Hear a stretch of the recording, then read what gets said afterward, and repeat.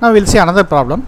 A pentagonal prism of side base 30 mm height 65 mm rest such that its base is parallel to and 10 mm above HP so the base is parallel to HP and the base is 10 mm above HP that means uh, you have to start the top view first. In top view you have to draw the pentagon.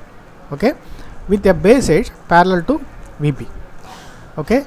So have to while drawing the pentagon in top view such that one base edge is parallel to XY like that you have to start. So this is the question. Draw XY uh, as I said just before start the top view in that I am I have drawn one side of the pentagon okay which, which is uh, parallel to XY parallel to VP with that I am completing the pentagon right? So this is the final uh, top view.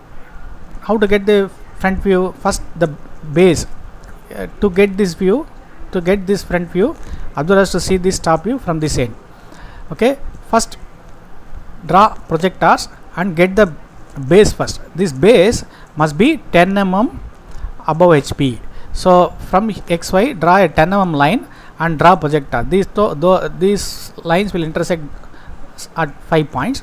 So that is nothing but the base. Draw uh, join all the points that is the uh, base in front view. The next step is set the height. Height of the solid is 65 okay? So these two are boundary edges. These uh, vertical edges are nearer for this observer. So 1 2 3 4 5 are visible. The vertical edge e5 is not visible. It is hidden. So that is shown by dash thick dash line type